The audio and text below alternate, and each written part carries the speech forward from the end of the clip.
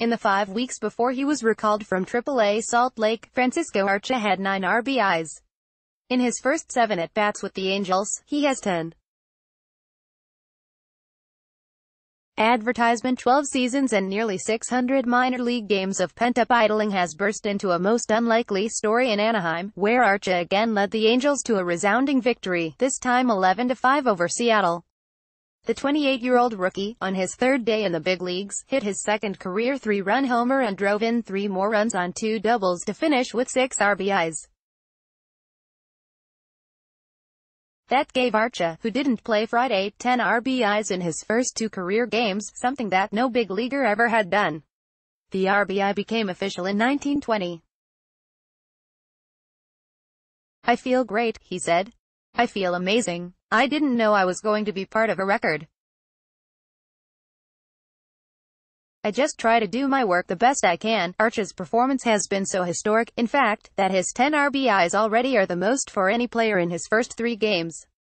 Angels Angels Pujols continues to play at high level, despite knee issues by Jeff Miller July 28, 2018, 5.15 p.m. after doubling in a run off Felix Hernandez in his first at-bat, Arcia faced reliever Casey Lawrence his second time up with two men on base. He smacked a 2-2 changeup from Lawrence over the wall in right. At that point, in just six at-bats, Arcia had matched Mike Trout with two three-run homers for the season. It's still the same, the same dream, said Arcia, who called his debut Thursday a dream fulfilled. I can't believe it. I feel proud.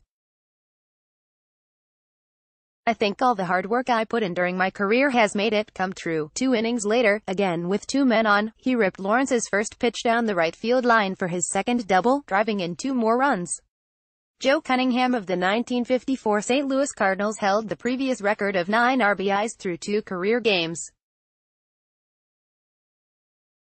To appreciate how difficult it can be to drive in 10 runs, consider that Justin Upton, who began Saturday tied for the Angels lead with 58 RBIs, drove in 9 runs total in June. And Arcia had a chance to add even more.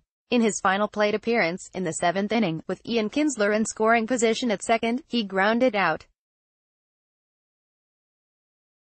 So, through two games, Arcia has five hits, two homers, two doubles and a single, in eight at-bats.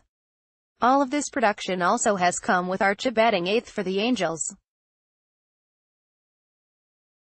Advertisement, I feel happy for someone who was just grinding it out in the minor leagues, manager Mike Scioscia said. To get this opportunity and do what he's done the first two days, that's incredible, a native of Venezuela. Arcia wouldn't even be an Angel today had the team not traded starting catcher Martin Maldonado on Thursday. He was last seen by most of his teammates in spring training. The Angels went through four catchers this season before arriving at Arcia, who was so unknown that a member of the team's television crew had to ask Thursday how he pronounces his last name. Three days later, that name has been repeated more often than anyone had anticipated.